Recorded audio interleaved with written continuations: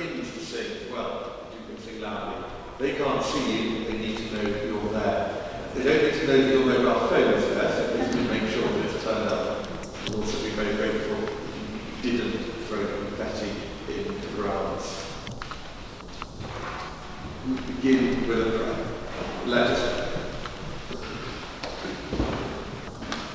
God of wonder and of joy, grace comes from you, and you alone are the source of life and love. Without you, we cannot please you. Without your love, our deeds are worth. Amen. Remain standing now to sing our first hymn, Amazing Grace. Please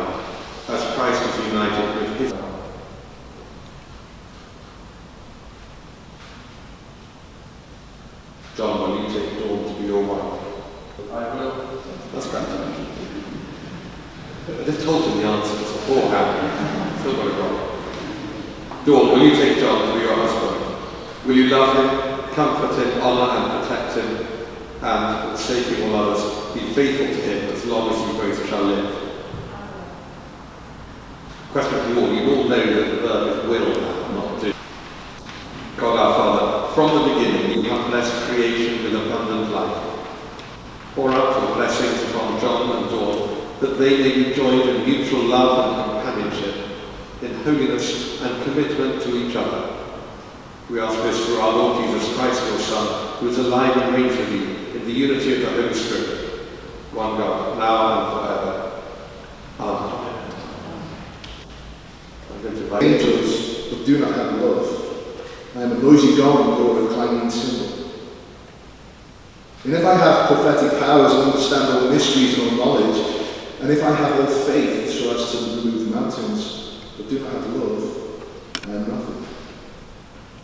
If I give away all my possessions, and if I hand over my body so that I may boast, but do not have love, I gain nothing.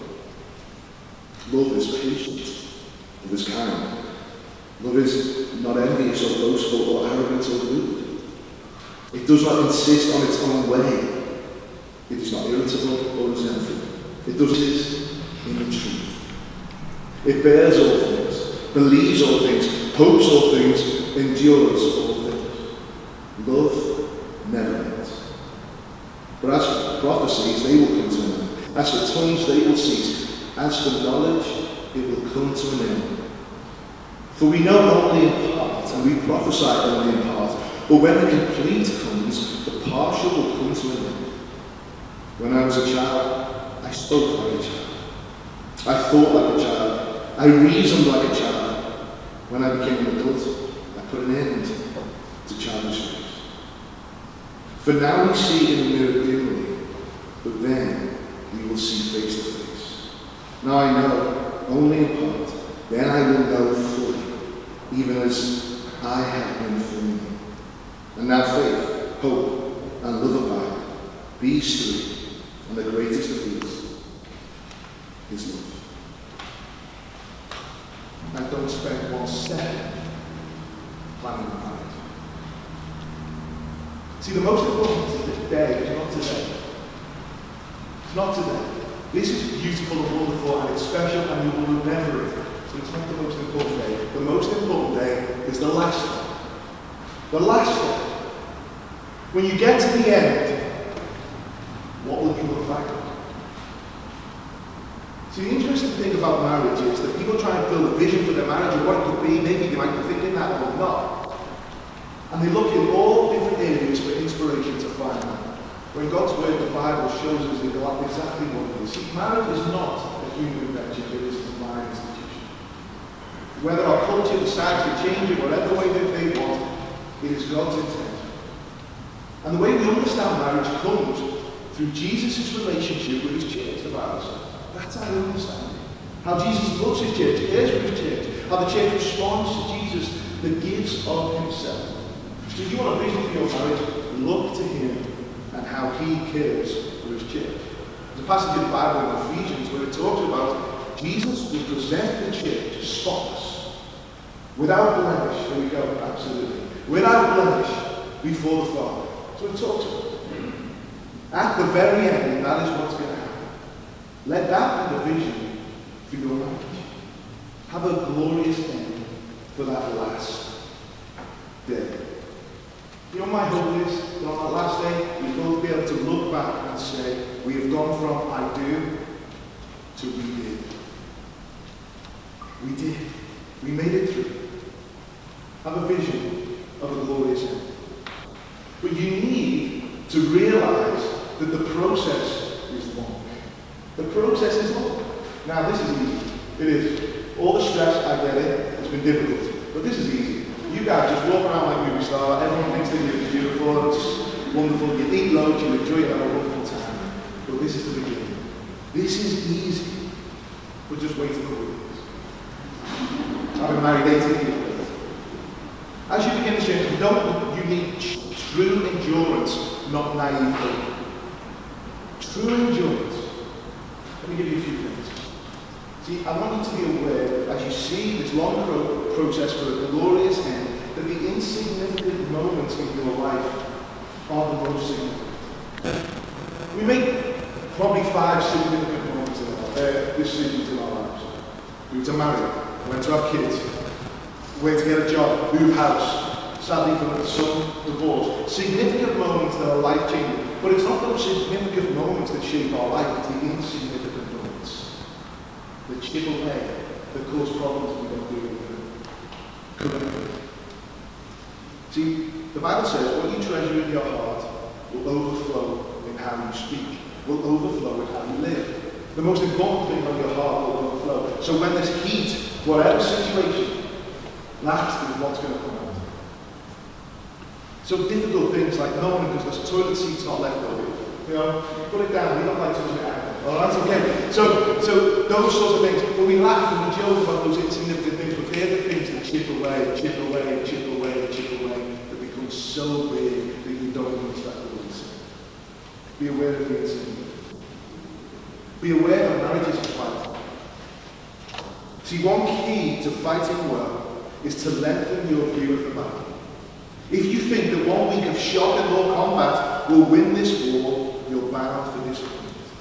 If you're looking for some quick fix, an easy answer, a one and done solution, then you'll never really understand the nature of the fight. And so many people go into marriage or deal with conflict and issues in marriage, shocking or shocking or we it, we it, we need a longer view for the fight. The problem is people think the fight is with each other. And the fight is for your marriage. It's for your marriage. marriage is a fight. See, Marriage is a conscious pursuit of death. I die to self. That no longer is about me, but it's about we. That I put the other person's ideals, the other person's preference before me. The other, I sacrifice and I submit for the cause of the other person so that they can flourish and they can blossom. That's what Jesus did for his church. Well, the Bible says, wives submit to your husbands unto the Lord. Our culture, and many people disagree with that because they misunderstand what that's all about. See, it takes the, the issue of the church, and the church is able to follow Jesus, to, to submit to Jesus, to, to see what Jesus has done. And then the other side of the verse is it says, Husbands, love your wife. To have and to hold. From this day forward. For better, for worse. Richer, for poorer. In sickness and in health. To love and to cherish. Till death us do part. According to God's holy will. In the presence of God I make this vow.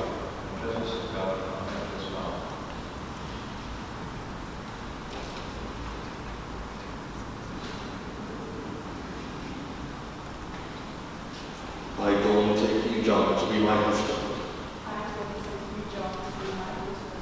to have and to hold, from this day forward, for better, for worse, for richer, for poorer, in sickness and in health, to love and to cherish, till death us do part, according to God's holy will. In the presence of God, I make this vow.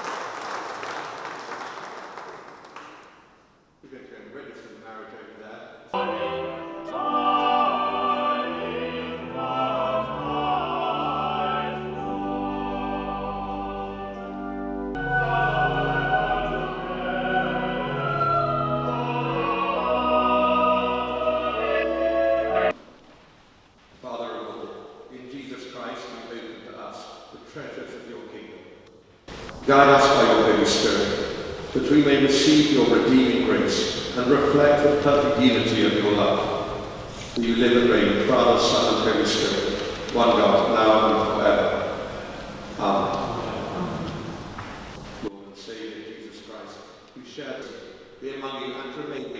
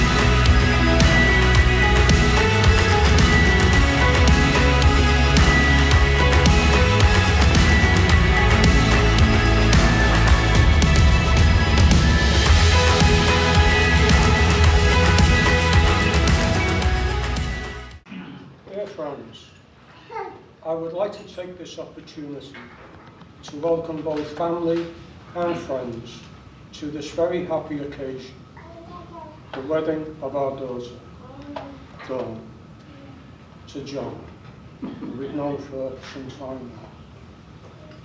You have all played some part in the lives of Dawn and John. We remember those who can't be here, especially John's mum, Doreen, who I'm sure would have been as proud as we are now. Before I go any further, I am sure you will agree how beautiful the bride looks today.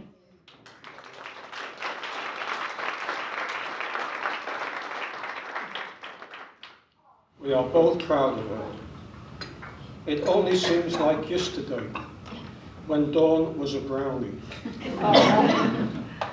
with her bottle hat and I had the weekly job of ferrying all her friends to their weekly meetings.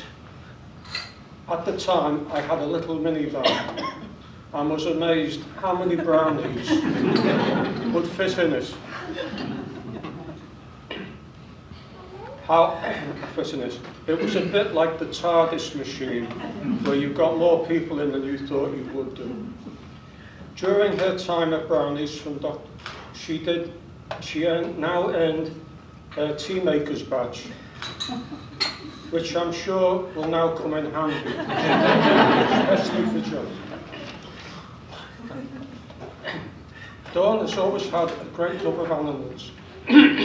Sorry. and pursued a career in veterinary nursing. She would regularly arrive home with stories of the day's antics, usually whilst we were eating our tea. this would normally be in graphic detail and often with remnants on her uniform. also on occasion she would bring home waifs and strays who needed to be tended to. Dawn then chose another career path and trained to be a cardiologist, sorry, cardiology physio, physiologist. Should have practiced that a bit. So, John, we can safely say your heart is in good hands. John, may I say welcome to our family and that we are so pleased to have you as our new son-in-law. You clearly love Dawn, and we know you will look after her. What more could a parent want for their daughter? So thank you. Now, as you begin your new life together, it is said, when children find true love, parents find true joy. Here's to your joy and ours from this day forward. So finally, ladies and gentlemen, I'd like to ask you all to stand and raise a glass to join me in a toast to the new Mr. and Mrs. Bordenero.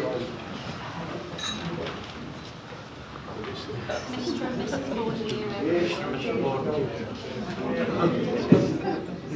Okay, um, I'd like to take this opportunity to welcome you all here today for the wedding celebration of Dawn and John. For those who don't know me, my name is Karen and I'm Dawn's little sister. Yes, it's been the job, my job to imitate my sister for the last 43 years. From the moment Dawn realised her sibling was on the way, she knew life would never be the same. As she once said to Mum on a regular shopping trip, when our new baby comes, I won't be able to have toys anymore. Dawn was, um, for those of you who, who know us already, you'll know that we're quite different in many ways and being Dawn's little sister has had many memorable moments. Dawn was always the tidy one, whose things were neatly organised in her cupboard in the sideboard in the living room, whilst mine were thrown in and the door was shut quickly. Dawn always had this amazing ability as well to save her pocket money.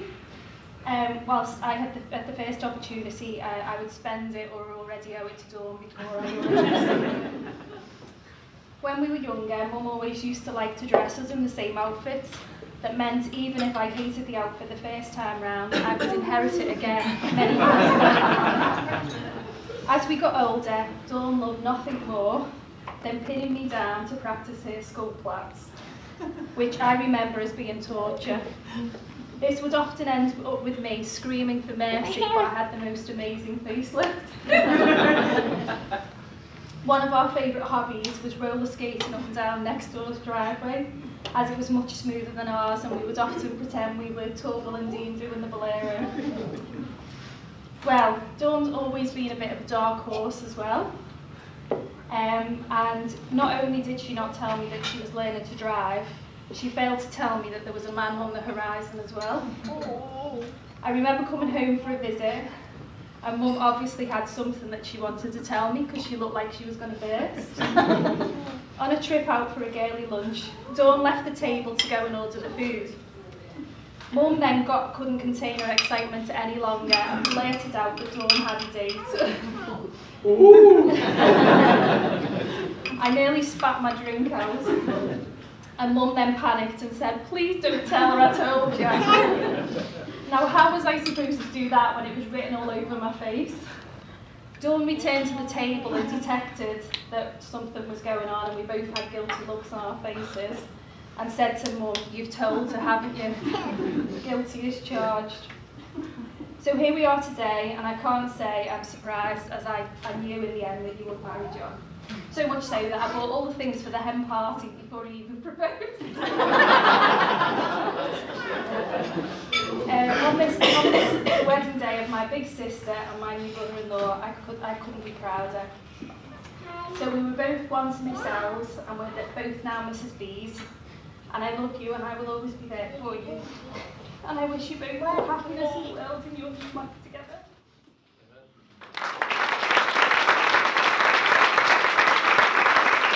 Um, my name's Phil. I'm John's best man, and uh, I've known him for 20 years now. And, in that, in that time, we've been really close, more like brothers really. Um, and I'm just honoured that John's asked me to be his best man today. Um, well, John and Dawn both asked me because uh, I asked John to be my best man when I got married to my wife Janet, and uh, just been so close ever since. Now, um, I couldn't talk about John really without talking about Darren. And Mr Hodge on the stage.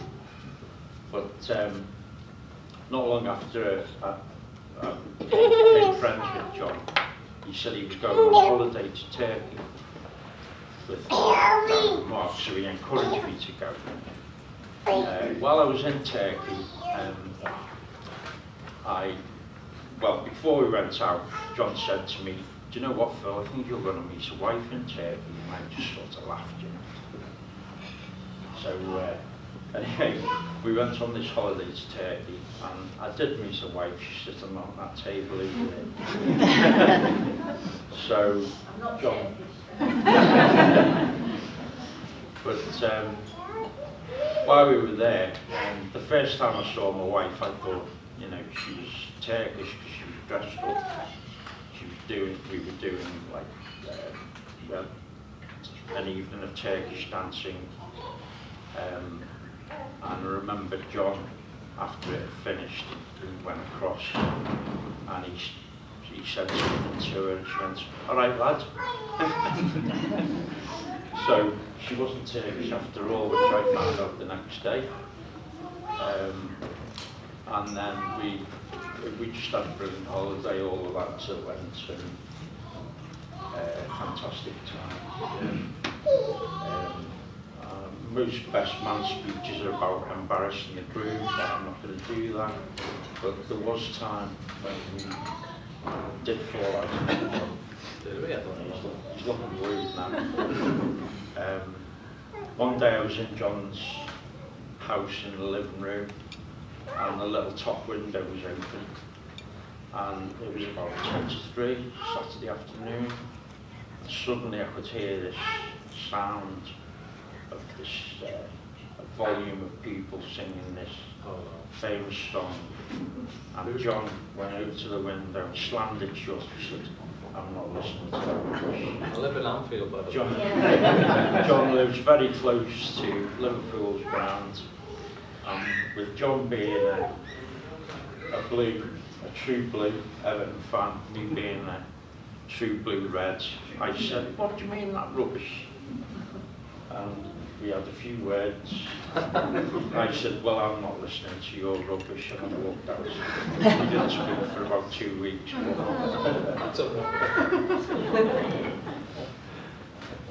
So, uh,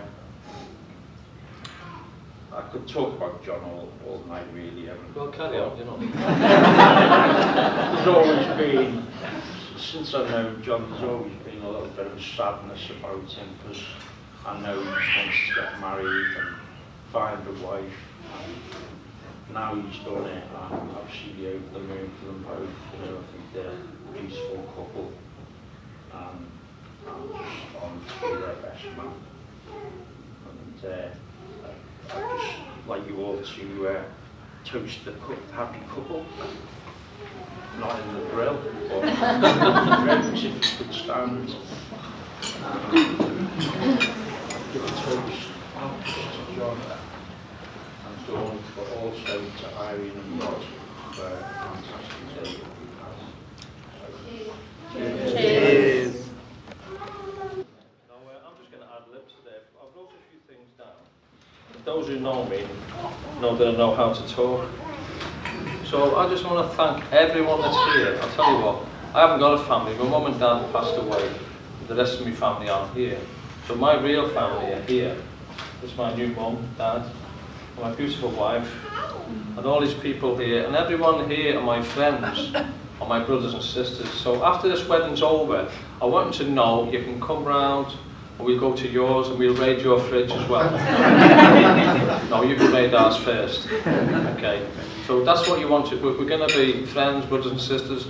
And it's more, it's our wedding, but you're part of our wedding and it's not just from today. You know, Dawn's going to meet all my friends, they're going to be her friends as well.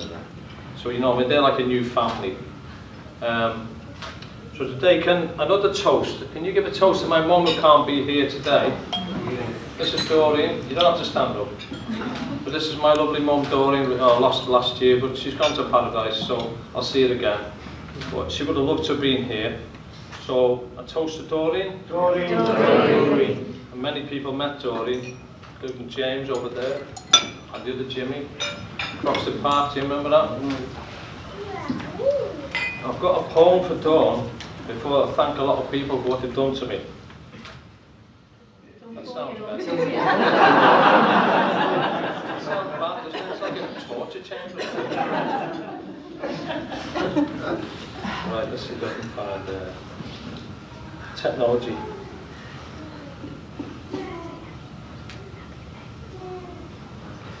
I'll get it in a minute, so Let's switch it on, John. This is a poem I wrote for Dawn, alright? So you're a beautiful star and a lovely flower, and I get to love you more by the hour. You grow in the honeydew meadow of love, my precious little turtle dove. You're everything God prayed for and just a bit more. So thank you, God, for giving me this girl, a sweet and little diamond pearl. So love and hold for all my life, and yes, at last, I found a wife.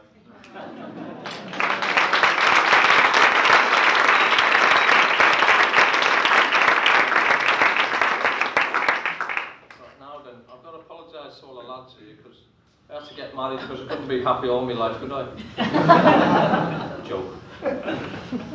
I've been told to speak now because I can't do it at my funeral. Janet said, don't tell any more jokes. Sorry, Janet. uh, anyway, all this works, this is working out quite well, so we can have, always have another one, can't we? So what I've lost in my family, I've gained in here right now. There's people here, you know, they, I'm going to tell about them in a, in a minute. But uh, I'd like to thank Irene, Rod, Dawn, and also, you know, everyone on this table now. They're all my family and friends right now. Uh, I'd like to mention a few things. I want to thank Jed. Years ago we said, you're like the Eagles song, Desperado. I don't know if you know the song. You'd always choose the Queen of Diamonds and she'd beat you if she's able. Choose the Queen of Hearts. She thought she's the best one and I've got the Queen of Hearts today. and you've got the Queen. Queen time. You've got the King I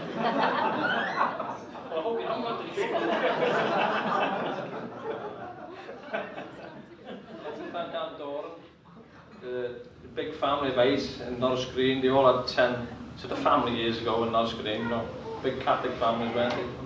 And to thank Anne on behalf of all the family, your mum and Chris who couldn't make it. God bless you all. And I thank Anne and the girls who used to carry me home. We had cut knees and we had short pants. Mrs. Borden, Johnny's cut his knees again, so thanks. Yeah, and I'll be honest, like years ago I was looking for a wife. I'm not gonna, you know, let's not hide things. You know, girls look for husbands. I was looking for a wife. Um, I tried internet and all this stuff, I tried everything. And I was trying too hard. But the moment I left it to God, and I've heard this many times, the moment you give in, I said, I'm, I'm going to stay single the rest of my life. I met this beautiful woman. And so when I found that with the moment you give in, you just leave it to God. And that's how I met this beautiful lady. Uh, we've drank a toast to Doreen, so I've done that back to front. but as is, you know, Stella.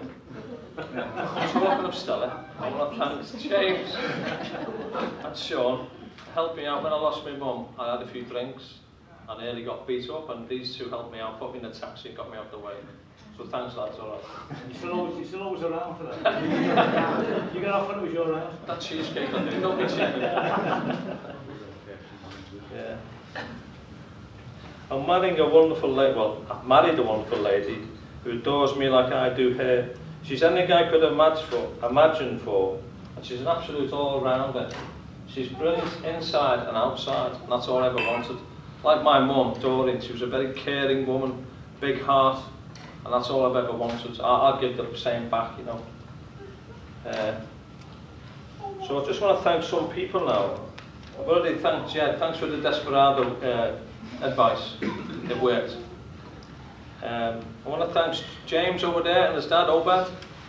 If you want the best spaghetti bolognese, Obad, he does outside of Italy, but it gives you so much your belly explodes. and I want to thank James for giving me encouragement when I'm looking after my dear mum Doreen. I had more encouragement off him than my own brother. He said that I kept my mum alive for like 15 years after, like Jed's doing with his mum now. And thanks for the encouragement, James, alright?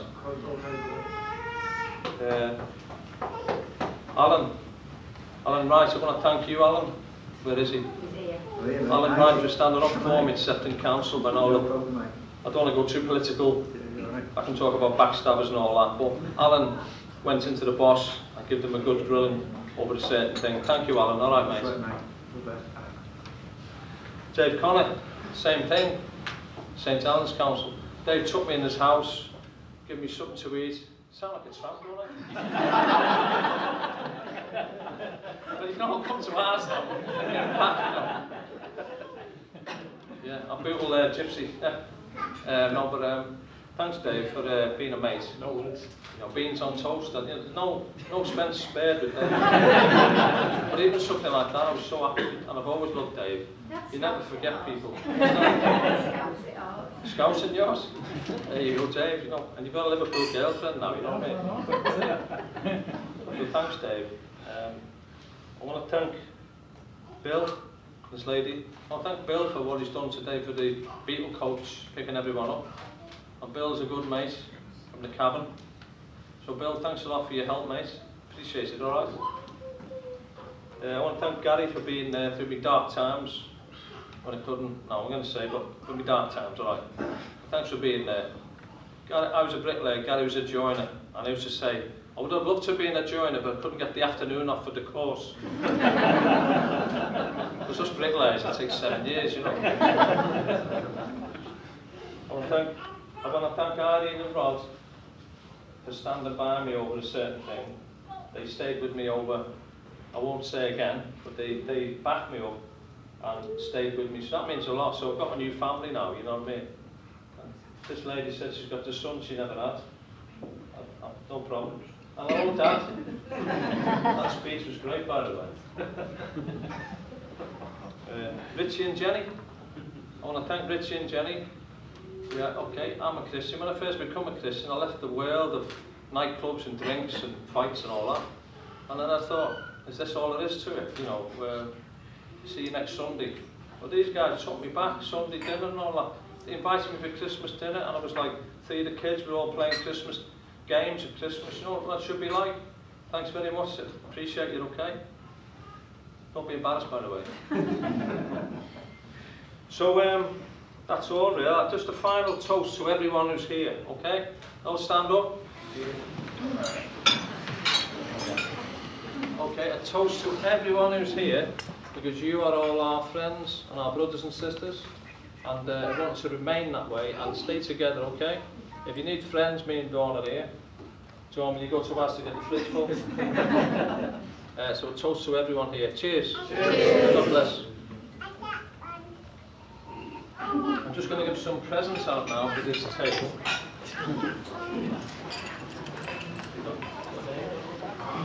Phil, this is for you, bro. It'll be Phil and Jan, but you won't like it. Have the bag as well, pal. Karen, this is for you, love. Can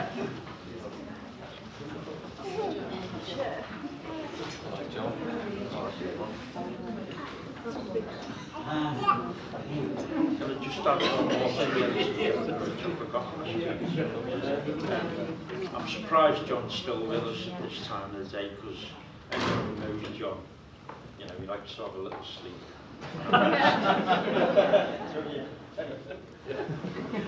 and uh, that's not a bad thing. Maybe we should all take a leaf out of John's book. Sicilian, you know. But so be ready, be ready. I know, I Thanks.